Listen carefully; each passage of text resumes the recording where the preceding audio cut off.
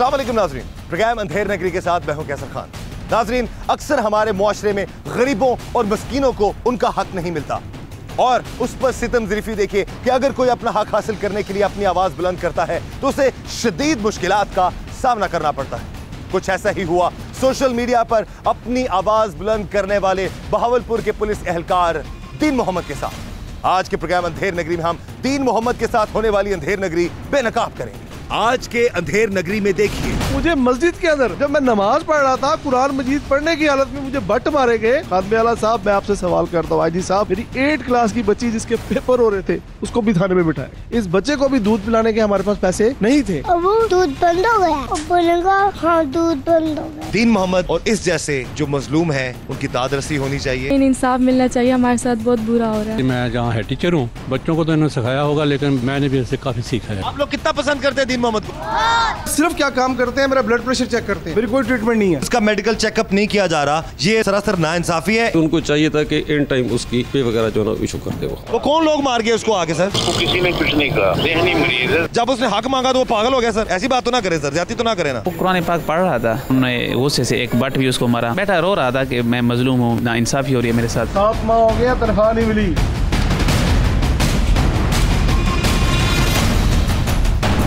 Social media एक ऐसा medium बन चुका है जिसके ज़रिए वीडियोस पूरी दुनिया में फैल जाती है और बहुत जल्द लोगों की तवज्जो हासिल कर लेती है। कुछ अर्सा कबल सरहद के उस पार से एक भारतीय फौजी ने अपनी वीडियो सोशल मीडिया पर अपलोड की और मसाइल की निशानदेही की। इस वीडियो ने पूरी दुनिया में हलचल मचा दी और फिर पाकिस्तान के सूबा पंजाब के शहर बहावलपुर ऐसी पुलिस के एक जवान दीन मोहम्मद की वीडियो मंजर आम पर आई जिसमें इसने अपने साथ होने वाली नाइंसाफियों का ज़िक्र किया। वीडियो सामने आने की देर थी कि ये मामला तमाम मीडिया आरोप हाईलाइट हो गया। सात माह हो गया तनख्वाह नहीं मिली। बाबडा वाले जो मीटर काट गए हैं। जब आप किसी को सात माह तनख्वाह नहीं देंगे ये मेरे मासूम बच्चे हैं इधर आओ बेटा। ये बच्चे हैं जिनको जिनका दूध बंद कर दिया गया है। घर में खाने को कोई चीज़ नहीं है। वो बेटा नाइन्थ में है इधर आओ बेटा। ट्यूशन वालों ने ट्यूशन से हटा दिया है।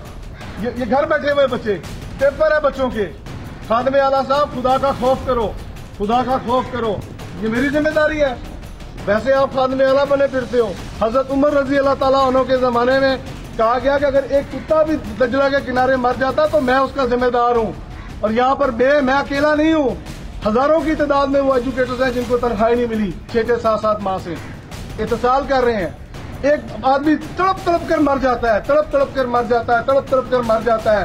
अब वो दरखास्त देता है अपने इलाज के लिए। आप उसका इलाज नहीं कराते। आपने उसका बहबूद फंड काटते हैं, पता नहीं कितने फंड काटते हैं। इन टाइम उसको पैसे नहीं मिलते, लेकिन जब वो बंदा मर जाता है, उसकी बेवा को अगले दिन आप पचास हज़ार रूपए देने के लिए आ जाते हैं। सात आठ माह हो गए हैं लिख कर भेजा हुआ अभी तक जवाब नहीं आया डेली ड्यूटी भी करता है, सब कुछ करता है। जब मर जाएगा, खादमे आला साहब, आप और आपके आईजी साहब, और आपके लाइन अफसर साहब, आपके ये जो टूगरल जमीर साहब है, ये पचास हज़ार रूपए देने के लिए आ जाएँगे, तस्वीरें खिंचवा लेंगे। इंसाफ करें इंसाफ करें। आखिर में सिर्फ़ मैं एक रिक्वेस्ट करूँगा मैं आपसे। इंसाफ करो अदल की जगह पे रब ने आपको बिठाया है। सितम जिरफी देखिए कि इस वीडियो के बाद बजाय उसके मसाइल को हल किया जाता, दीन मोहम्मद को अपने ही पेटी भाइयों ने मुबैना तशद का निशाना बनाया और उसको मजीद अजियत का निशाना बनाया गया। सोशल मीडिया पर अपने और दूसरे पुलिस एहलकारों के लिए हक मांगने वाले पुलिस एहलकार के साथ वीडियो ऑनलाइन होने के बाद क्या कुछ हुआ, ये जानने और एक मजबूर और मजलूम पुलिस एहलकार की आवाज़ बनने अंधेर नगरी टीम पहुँची भावलपुर में। सोशल मीडिया आरोप अपने हक की आवाज़ उठाने वाले पुलिस एहलकार दीन मोहम्मद के घर।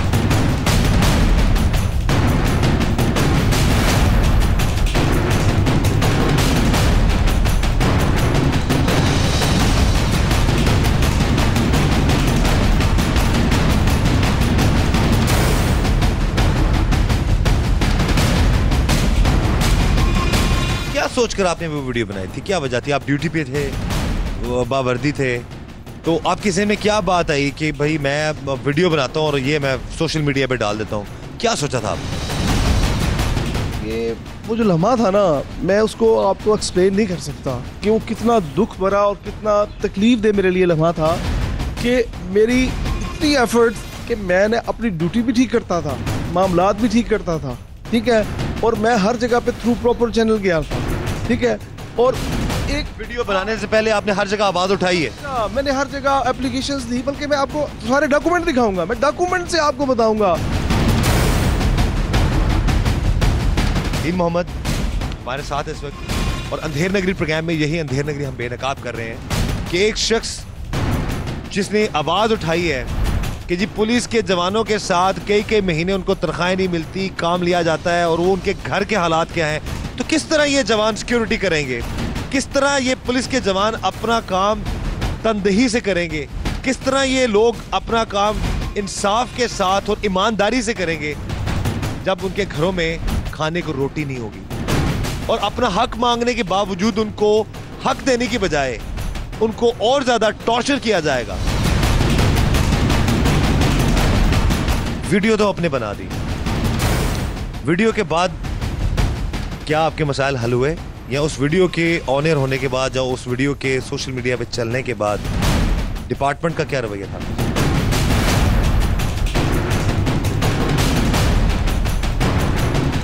बड़े दुख के साथ कहता हूँ मैं कि बजाय के मेरे जो मसाइल थे या जो मामला थे, उनको सॉल्व किया जाता, कुछ साफियों ने, कुछ लोगों ने वो जब इश्यूज़ आरपीओ साहब तक पहुँचे तो उन्होंने कहा कि इसको बुलाओ, इसका मसला हल करते हैं।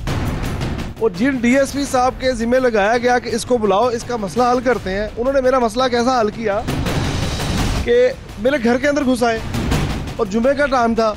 मैं अपने बच्चों के साथ जुमे की नमाज़ पढ़ने गया हुआ था। ठीक है? और मस्जिद में घुस आए जूतों समेत और साथ और भी बंदे लेकर आ गए। मैं नमाज़ पढ़ने के बाद रुशी पढ़ने के बाद कुरान मजीद पढ़ रहा था। और कुरान मजीद मुझसे छीनने की कोशिश की। पहले से कहा, ज़बरदस्ती ले जाओ। ठीक है? उसके बाद मैंने उनसे रिक्वेस्ट की कि सर मैं कुरान मजीद पढ़ रहा उनके साथ कोई इमरान था साहब थे आई थिंक सो तो उन्होंने कहा जी आर साहब ने आपको बुलाया मैंने कहा जी आर साहब ने बुलाया मैं जाने के लिए तैयार हूँ लेकिन ये कौन सा तरीका है? कहते भी आपको सुबह मैंने कहा ये जो डीएसपी साहब हैं ख्वाजा तुगरल ज़मीर साहब अब मैं उनको ज़मीर साहब तो नहीं कहूँगा तो उनके लिए आप क्या कह सकते हैं कि जो कुछ उन्होंने मुझसे मेरे साथ किया ना आप सुनेंगे तो आप उन्हें ज़मीर नहीं कहेंगे आप उन्हें बेज़मीर कहेंगे। क्या क्या किया उन्होंने आपके साथ? वो मेरे घर आते रह गए अब बच्ची का पेपर था मेरा बोर्ड का। मैं उधर गया। पीछे आते रह गए। वो कहते, जी, आरपीओ साहब आपको बुला रहे हैं। घर मेरे कहते रह गए बच्चों को। आरपीओ साहब बुला रहे हैं, लेकिन दीन मोहम्मद से कहिएगा, आरपीओ साहब से मेरे बारे में कोई बात नहीं करनी। क्योंकि जो उन्होंने तीन चार दिनों में मेरे साथ मजालिम की है ना, जिसकी बिना के ऊपर आकर मैंने वो वीडियो अपलोड की।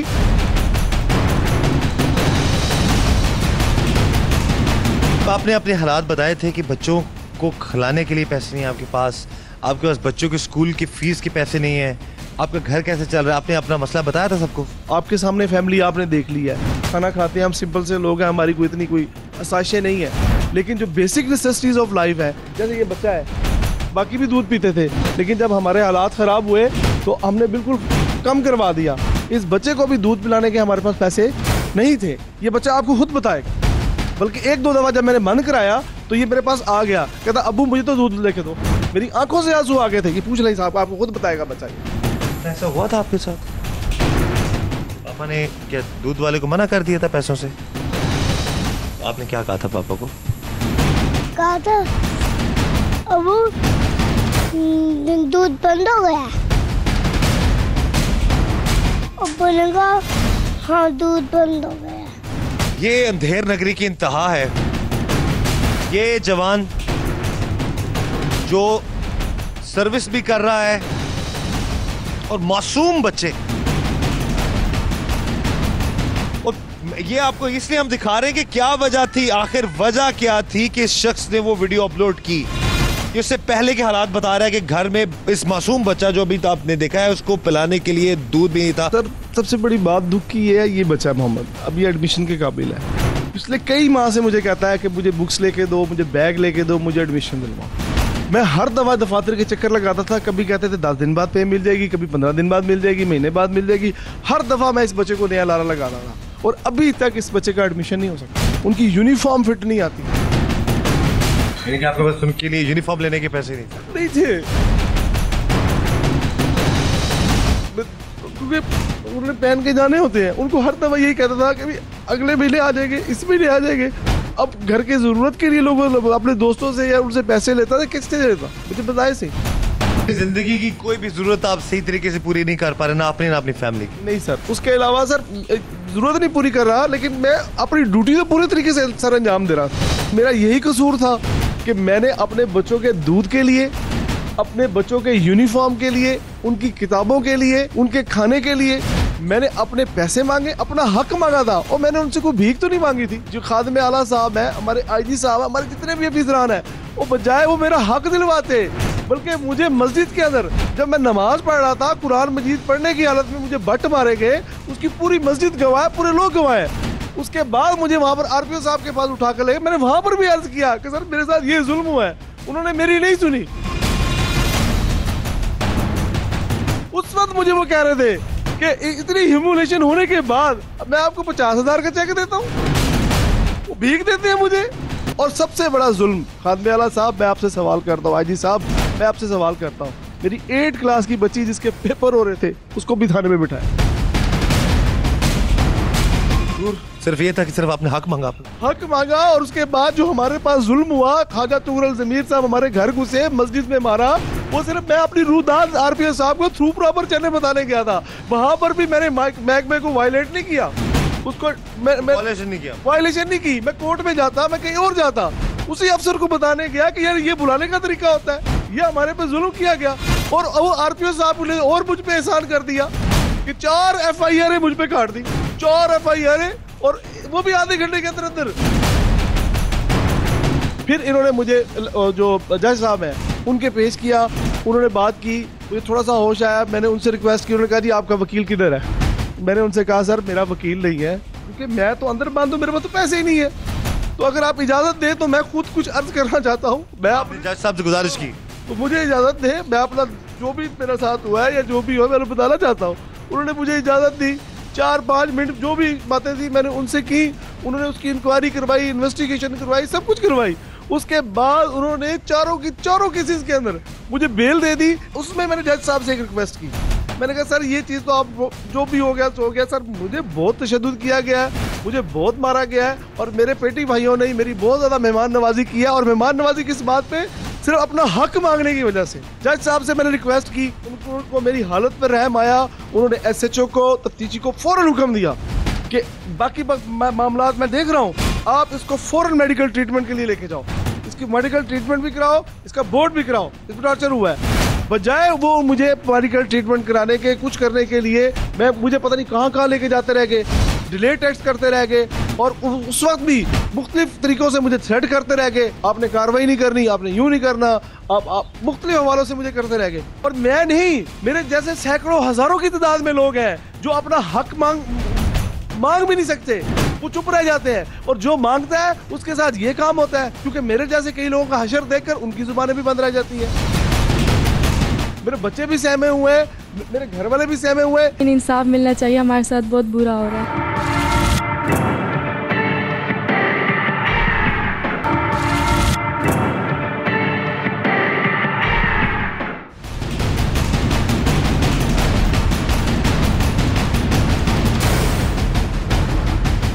जज साहब ने ये भी हुक्म लिखा था कि इसको तीन दिन में तनख्वाहें दी जाएँगी। लेकिन आज देख ले कितने दिन होंगे इतना तनख्वाह मिली है और साथ ये भी कहा था कि इसके खिलाफ कोई रिवेंजफुल कोई बदले की कार्रवाई नहीं की जाएगी। वो- उसका गिफ्ट मुझे ये मिला गया एक तो मुझे सस्पेंड कर दिया गया। Close to Qurban line Gulberg Lahore कर दिया गया। दूसरा, मेरे बैकमे ने बना दिया कि इसका मेडिकल अनफिट करके हम इसे जान छुड़ाएँ ये किस बात पे? हक की बात करने पे उससे बड़ी अंधेर नगरी ये है कि बजाय मेरी दादर सही की जाती। आधी रात को मेरे घर में कुछ जवान आए हैं ना मालूम उन्होंने मेरा सामान उठा के बाहर रखा और साथ जाते हुए थ्रेड करके गए। बच्चों को भी, मुझे भी, कि यहाँ पाकिस्तान में तो बड़े बड़े उठ जाते हैं। तुम क्या चीज़ हो? तुम भी नज़र नहीं आओगे, तुम्हारे बच्चे भी नज़र नहीं आएँगे। और उस दिन से मेरे बच्चे भी सहमे हुए हैं मेरे घर वाले भी सहमे हुए हैं। ना खास्ता, आपके साथ ऐसा होता है तो आप किसको जिम्मेदार ठहराओगे मैं मैं किनको ठहराऊँगा? जिन्होंने मेरे साथ जुल्म ज़्यादा की या जिनको मैंने पैगाम देने की कोशिश की? किनको? खादम आला साहब को मैंने पैगाम देने की कोशिश की उसके बाद आईजी साहब को। और उन्हीं से इंसाफ मांगने के लिए मेरी बेटी मेरा बेटा जिसके साथ जुल्म किया गया वो लाहौर तक चले गए।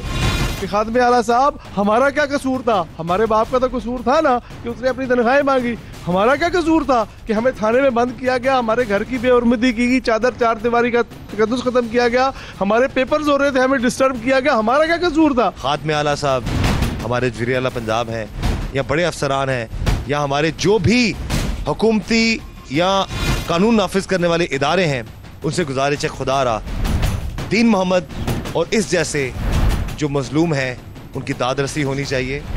तमाम डॉक्यूमेंट्स उसके पास मौजूद है तमाम फैसले मौजूद है, उसके बावजूद उसको इंसाफ नहीं दिया जा रहा। अगर अब भी इसको इंसाफ नहीं दिया जाएगा और इसको डराया धमकाया जाएगा उसको गायब करने की इसके बच्चों को गायब करने की बात की जाएगी तो ये बहुत बड़ी अंधेर नगरी है और ये अंधेर नगरी नहीं होनी चाहिए।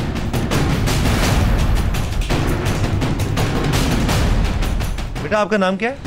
मोहम्मद। कौन कौन था आपके साथ जब आपको थाने में बंद किया गया? ये ये ये दोनों नहीं ये दोनों नहीं थी। आप भी थे साथ? तो आपको थाने में बंद कर दिया गया था? हैं? कितनी देर बंद किया उन्होंने? पता है आपको याद है आपको? कितनी देर? तो दोपहर को भी अंधेरे को भी। दोपहर को भी और अंधेरे को भी दोपहर से लेकर शाम तक इनको थाने में बंद किया गया और ये मासूम बच्चा। इसको भी थाने में इसके वालद के साथ बंद कर दिया गया था। बेटा आप कौन सी क्लास में पढ़ते हो? नाइन्थ आपने आप कुरान पाक हिफ्ज किया हुआ आपने? कब से आपने बेटा हिफ्ज किया? एक साल हो गया फिर हमने ना एट में एडमिशन लिया था। जो भी आपके पापा के साथ हो रहा है आपके वालद साहब के साथ हो रहा है इस वाले से आप क्या कहना चाहेंगी? जी मैं ये कहना चाहती हूँ कि इन इंसाफ मिलना चाहिए। हमारे साथ बहुत बुरा हो रहा है। मेरे अबू और मुझ पे हम सब पे जुल्म किया जा रहा है हमें चाहिए। अपना हक मांगने की सजा, दीन मोहम्मद को तशद और मुख्तलिफ़ किस्म के मसाइल की शक्ल में मिली। उसका कसूर सिर्फ़ यही था कि वो अपने साथ साथ दूसरों के हक की बात करता था। दीन मोहम्मद को एक और एजाज मिला कि उसका जहनी तवाजन दुरुस्त नहीं है। मगर असल हकायक क्या थे, ये जानने के लिए अंधेर नगरी टीम पहुँची उस स्कूल में, जहाँ पर दीन मोहम्मद बच्चों को पढ़ाया करता था। वहाँ पहुँचने की देर थी कि स्कूल के साथ और बच्चों ने दीन मोहम्मद का वालहाना इस्तकबाल किया।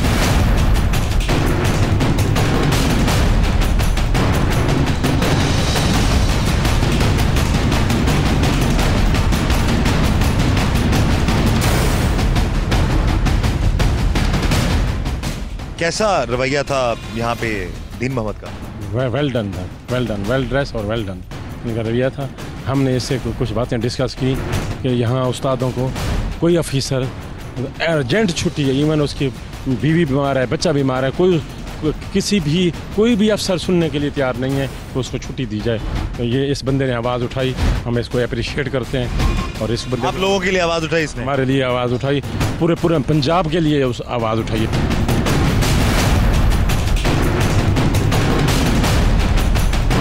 मैं जहाँ है टीचर हूँ। हाँ जी। मेरा नाम मोहम्मद तासीन है। ये बताइए कि दीन मोहम्मद जितना अरसा यहाँ पर पढ़ाते रहे हैं बच्चों के लिए आप स्कूल के लिए उसकी कोशिशें उस हवाले से ज़रूर बताइए। बच्चों को तो इन्होंने सिखाया होगा लेकिन मैंने भी इससे काफ़ी सीखा है जी। हाँ जी। यानी कि ये पढ़ाने के मामले में और तलीम की बेहतरी के लिए काफ़ी चीज़ें इन्होंने हमें बताई हैं। और हम बड़े सेटिस्फाई थे इनसे। दीन मोहम्मद साहब बड़े एक्सपर्ट थे पुलिस से निकल आए हुए थे। हर लिहाज से उनकी मतलब तजर्बा था। मैनेजमेंट में भी बहुत अच्छे थे। बच्चों का जो है रूमिंग करना उसमें भी उनका बहुत एक्सपर्ट थे। बल्कि हमें भी वो गाय बगाए हमें बताते थे कि यूँ करना है गाइडेंस देते थे। एक्चुअली दीन मोहम्मद साहब एक पेन टेकिंग टीचर है और पेन टेकिंग इंसान है। ये टीचिंग में वो चीज़ों को ला, लाते थे बच्चों को लास्ट टाइम तक पढ़ाते थे। प्रॉपर डिवोशन के साथ पढ़ाते थे। अच्छा थोड़ा आप ये बता दीजिए कि इनके बारे में कहा जाता है जी कि ये दिमागी तवादन दुरुस्त इनके महकमे के लोग ये बात कर रहे हैं। हमारे आने का मकसद भी ये था कि हम हक और सच दिखा सकें।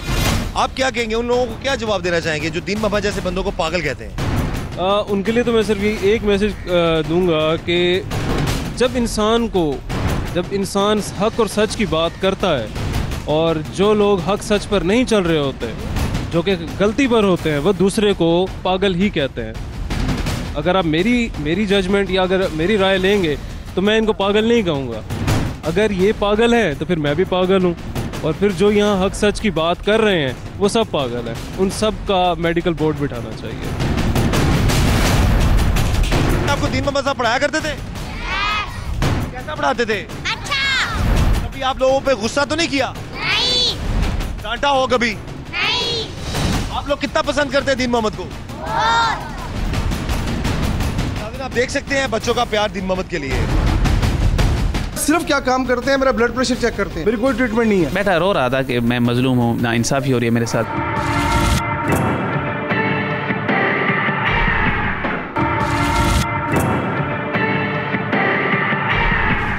अदालती अहकाम के बावजूद दीन मोहम्मद का ना तो मेडिकल किया जा रहा था और ना ही अस्पताल इंतजामिया उसके साथ ताउन कर रही थी। अंधेरी नगरी टीम जब विक्टोरिया अस्पताल बहावलपुर पहुँची तो वहाँ पर इंतजामिया का वही रवायती अंदाज देखने को मिला। मगर अंधेर नगरी टीम अपने और दूसरों के हक के लिए आवाज़ उठाने वाले पुलिस एहलकार की मदद के लिए कोशा रही।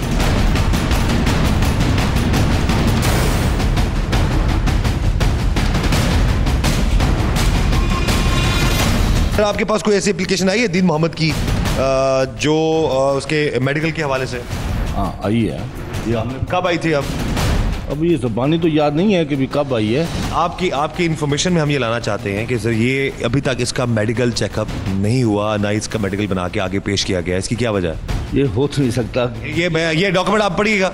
लगी हुई है अदालत की? हाँ डर की मोट लगी हुई है। आपके ऑर्डर्स हैं शकील अहमद सिविल जज साहब। हम आपसे पूछ रहे हैं कि ये क्या वजह है? क्योंकि आप भी आप अपने डॉक्यूमेंट्स आगे पहुंचाते हैं आप खुद कह रहे हैं ऐसा हो नहीं सकता। ऐसा हुआ है तो जज साहब ने दोबारा ये हुक्म दिया है ना? तो अब स्टेनो आएगा तो वो बता सकते हैं उनसे पूछ सकते हैं कि इसका कहाँ तक ये हुआ है। कोशिश करते हैं कि एम साहब या एम साहब या डी साहब कोई भी कंसर्न अथॉरिटी हमें मिल जाए जिनसे हम पूछ सकें कि क्या दीन मोहम्मद का अभी तक मेडिकल जो है वो क्यों नहीं किया गया और अब तक उसको जो है इंसाफ क्यों नहीं मिला।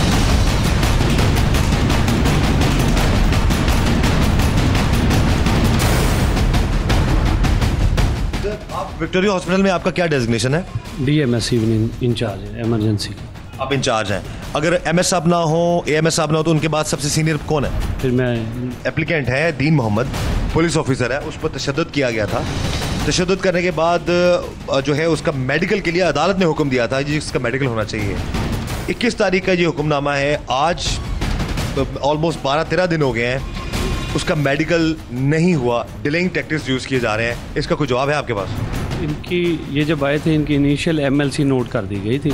उसके बाद इनका इरिटेबल बिहेवियर की वजह से नॉन कोऑपरेटिव बिहेवियर की वजह से कंप्लीट नहीं हुई। हमने सेक्रेटरी इवेलुएशन के लिए रेफ़र किया हुआ। वो उनके बाद रेफरल स्लिप है। यहाँ पर मुझे एक चीज़ समझ नहीं आई। एक शख्स है जो जिस पर तशद हुआ है उस पर तशद होने का मेडिकल जो है उसमें सेक्रेटरी का क्या आपने तो चेक करना है कि जख्म है या नहीं है? आपने तो ये चेक करना है? किसी बंदे पर तशद का मेरी बात सुन लें। किसी शख्स पर तशद का निशानात जानने के लिए उसका मेडिकल करने का मतलब क्या है कि पता लग सके कि तशद के निशानात हैं या नहीं है? एम राइट और रॉन्ग जी जी। आपकी बात ठीक है। जब पेशेंट हमारे पास ये आया है एक पेशेंट कोऑपरेटिव डॉक्टर के साथ होगा एग्जामिन करने देगा तो डॉक्टर करेगा ना? डीएमएस साहब ने बताया कि पुलिस एहलकार दी मोहम्मद मेडिकल के लिए। डॉक्टरों से तावन नहीं कर रहा। हमारे सिस्टम की सितम जरीफी देखिए कि किस तरह से अपना हक मांगने वाले को दर बदर की ठोकरें खानी पड़ती है और इंसाफ देने की बजाय उसे मजीद उलझा दिया जाता है। कुछ ऐसा ही पुलिस एहलकार दीन मोहम्मद के साथ भी हो रहा था। मगर अंधेर नगरी टीम ने डीएमएस साहब के झूठ को बेनकाम करने के लिए दीन मोहम्मद और डीएमएस साहब को आमने सामने कर दिया।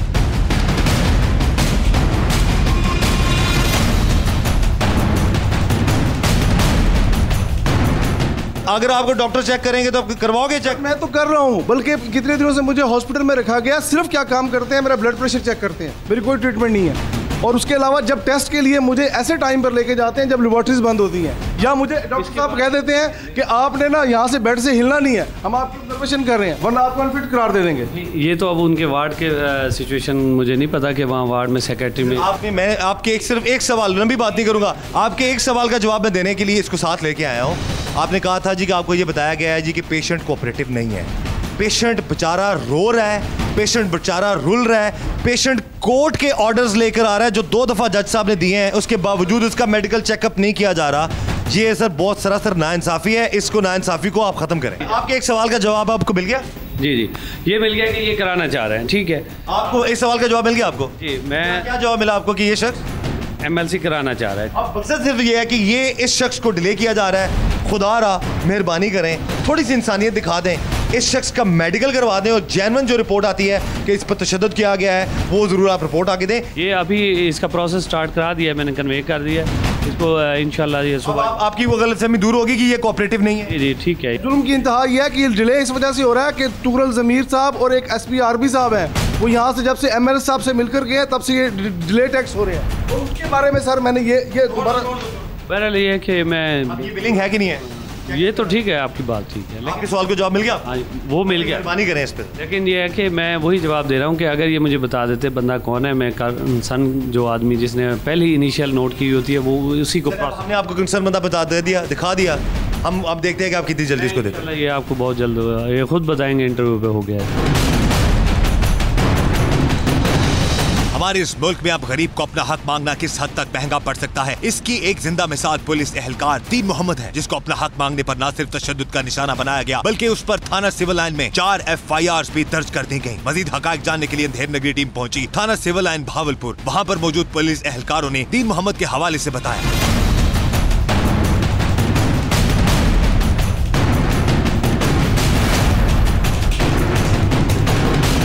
आप जानते हो दीन मोहम्मद को?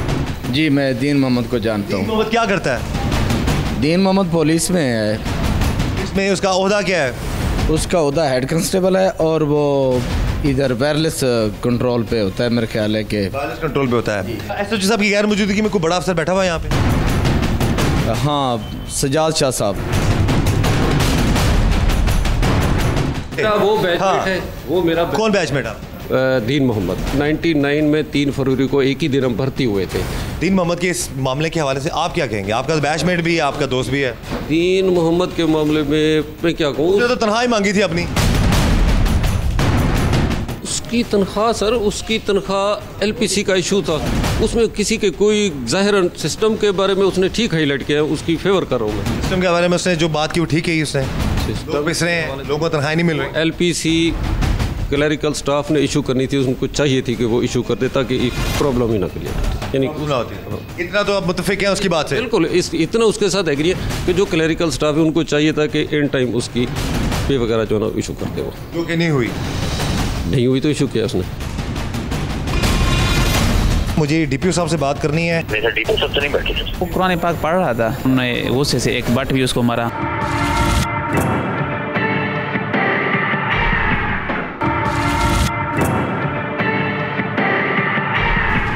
पुलिस एहलकार दी मोहम्मद ने बताया कि उसके अफसर डीएसपी तोरुल जमीर ने उसके साथ बहुत नाइंसाफी की और फिर उसे मस्जिद में जाकर तशद का निशाना भी बनाया। अंधेर नगरी टीम जब डीएसपी साहब का मौकफ लेने के लिए उनके दफ्तर पहुँची तो वो वहाँ पर मौजूद नहीं थे, जिस पर हमने उनसे फ़ोन पर बात की। हमें आगे दफ्तर मालूम हुआ है जी कि डीएसपी साहब यहाँ पर तशरीफ़ नहीं रखते हैं, वो कहीं आउट ऑफ़ सिटी हैं। तो अब उनके टेलीफोन नंबर पर उन्हीं के दफ्तर के बाहर खड़े होके हम बात करेंगे। कि वो अपना मौक़ जो है हमें क्या देते हैं ताकि हमारा मकसद है कि वन साइडेड चीज़ जो है वो ना दिखाएँ और हम कोशिश करेंगे कि उनका मौक़ भी प्रोग्राम में हम ज़रूर शामिल करें। हेलो अलैक्म जी। जी तुरुल जमील साहब बात कर रहे हैं। जी जी। तुरुल जमील साहब आप डीएसपी वायरलेस हैं यहाँ भावरपुर में? जी जी। अच्छा सर हम अभी आपके दफ्तर के बाहर खड़े हैं इस वक्त। आपका मौक़ लेना चाह रहे थे जो दीन मोहम्मद के हवाले से जो भी इशू है दीन मोहम्मद को जो तनख्वाह नहीं मिली उसके बाद फिर उसको तशद का निशाना बनाया। उसने तो अपना मौकफ दे दिया हम आपका मौकफ जाना चाहते हैं सर। मैं इस वक्त तो यजमान हूँ हमारा फायर हो रहा है दफ्तर नहीं हूँ मैं। जो उस पर जुल्म हुआ है बकौल उसके दीन मोहम्मद ने कहा जिसको जदोकोप किया गया मस्जिद में जाके आपने उसको मारा भी है।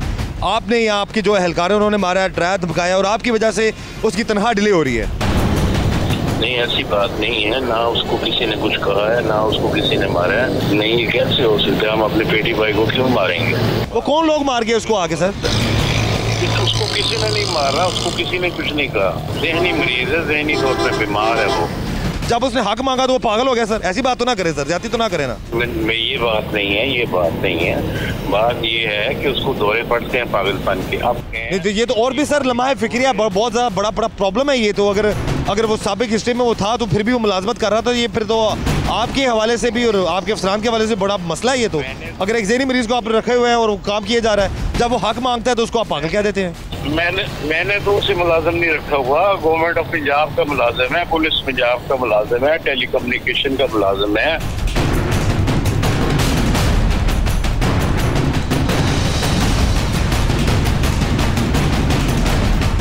अंधेर नगरी टीम ने पुलिस एहलकार दिन मोहम्मद पर होने वाली एफ़ आई आर और तशद के हवाले से जानने के लिए डीपीओ बहावलपुर से राब्ता किया। तो हमें बताया गया कि डीपीओ साहब दफ्तर में मौजूद नहीं है। अंधेर नगरी टीम को इस बात का अंदाज़ा था कि डीपीओ साहब हमारे सवाल के जवाब से गुरेजा थे। जब हम उनके दफ्तर पहुँचे तो वो दफ्तर में ही मौजूद थे। मगर डीपीओ साहब के ऑपरेटर का झूठ बेनकाब करने के लिए हमने वहीं से ही कॉल मिलाई और उस ऑपरेटर से जानने की कोशिश की। डीपीओ साहब के ऑपरेटर का झूठ किस तरह से बेनकाब हुआ, आप भी मुलाहिजा कीजिए।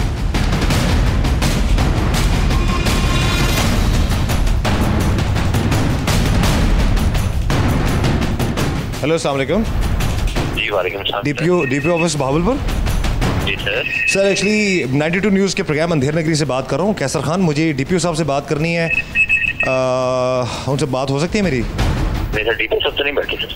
क्यों? जी सर। डीपीओ साहब से बात हो सकती है भाई। सर मैंने कहा डीपी साहब नहीं बैठे नहीं बैठे हुए अभी तो हम उनके दफ्तर में मौजूद हैं अभी वो गाड़ी तो उनके दफ्तर में ही है।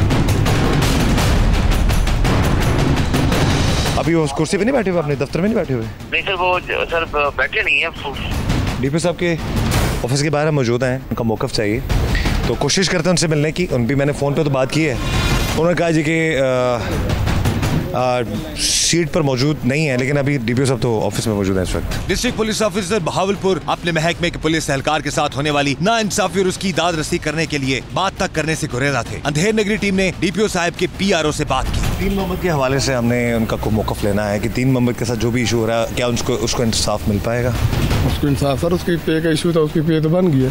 फरवरी की पे उसके में अपने अकाउंट में आ चुकी है। कब आई है उसके अकाउंट आज आई है सर। आ जाइए उसके अकाउंट इससे पहले सर नहीं आई थी उसने चेक किया था। डीपीओ साहब से बात हो सकेगी? नहीं आपने जो सवाल किया अभी उसमें जो उसकी पे है वो इस महीने के आगे बाकी भी इंशाल्लाह उसकी जो दो महीने की हमारे पास पिछली रहती है वो भी उसके एरर बन जाएँगे। वो डीपीओ साहब से डीपीओ साहब से मौका मिल जाएगा बात करने का? इसमें आपको डीएसपी साहब तुगरो जमीर जो है ना वो सही बता सकेंगे तुरुल जमीर साहब से तो हमने बात कर ली है लेकिन कि डिस्ट्रिक्ट पुलिस ऑफिसर तो डेफिनेटली डीपीओ साहब लेकिन उनको जो इशू है तनख्वाह का सारा सैलरी का वो सारा वही डील करते हैं क्योंकि वो उन्हीं के डायरेक्ट उसी का बात आता है हमारे पास इसकी ना पे का कोई इशू नहीं था क्योंकि हमारी डिस्ट्रिक्ट पुलिस ने इसका कोई इशू नहीं है। अच्छा इसके ऊपर कुछ पर्चे भी किए गए थे दीन मोहम्मद पे। जी जी। और उस पर पुलिस वालों ने कुछ तशद उस बकौल उसके तशद किया है उस पर तो उस हवाले से हम जाना चाहेंगे कि अगर तशद हुआ है तो क्यों हुआ नहीं तशद नहीं हुआ। हमने तो पहले दिन भी कहा उसको तो कह रहा है कि बहुत मारा गया नहीं नहीं मारा गया। पर्चे किस चीज़ के हुए थे उसके ऊपर? पर्चे तो इस वक्त मुझे उनके जो है ना वो सिविल लाइन में हुए हैं। डीपीओ साहब से बात करनी है सिर्फ़। एक उनका मौकफ लेना चाह रहे हैं। पुलिस डिपार्टमेंट को डिस्ट्रिक्ट पुलिस को तो वही हेड कर रहे हैं। ठीक है मैं करता हूँ। वेट कर रहे हैं डीपीओ साहब का। वो मौकफ देंगे या नहीं?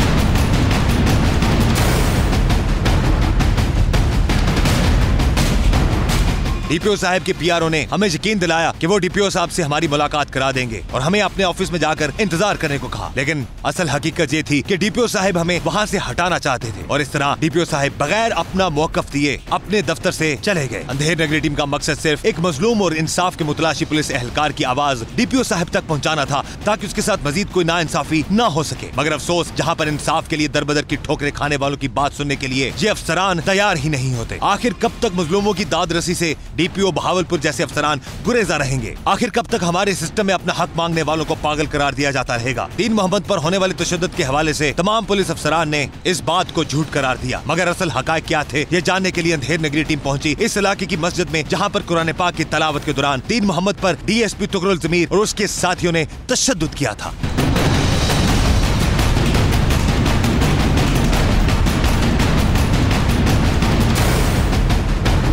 वो कुरान पाक पढ़ रहा था। हमने वो से, से एक बट भी उसको मारा। हमने तो उसको एक बट मारते हुए देखा ना जी। तो टोटल कितने लोग आए थे उसको लेने के? आठ आठ नौ थे। एक सिविल में था। थे? हाँ एक सिविल में थे बाकी वर्दी में थे। वो कहाँ बैठा हुआ था दीन मोहम्मद के? मस्ते के अंदर ना जी। अंदर अंदर करके बैठा हुआ था? हाँ जी। जानते हैं दीन मोहम्मद कैसा इंसान है वैसे? अच्छा आदमी अच्छा आदमी है हाँ। अच्छा वो अब यहाँ पर जुम्मे वाल जुम्मे को जब उसको लेके गए यहाँ से डीएसपी साहब तो क्या कर रहा था? हाँ, कुरान मजीद की तिलावत कर रहा था वो। कुरान की तिलावत कर रहा था। कुरान मजीद। जब हमने बात की डीएसपी साहब से तो उन्होंने कहा, जी, मैंने कोई तशद नहीं किया, लेकिन अभी मैं मस्जिद में मौजूद हूँ। इमाम मस्जिद साहब हैं यहाँ पर, और लोग भी हैं। उन्होंने कैटेगोरिकली ये कहा है कि, जी, उन्होंने अपनी आँखों से पट मारते हुए उसको देखा है डीएसपी साहब को, जिन्होंने दीन मोहम्मद को मारा था। ये हकीकत है, इसमें कोई गलत बयानी नहीं है। वाकई उन लोगों ने उस पर तशद किया और तीन से चार लोग जो है वाकई बगैर जूती उतारे गए हैं। बाकी सबने जूतियाँ पहनी हुई थी। यानी कि वो पुलिस वाले थे? हाँ जी वो तमाम के तमाम पुलिस वाले थे।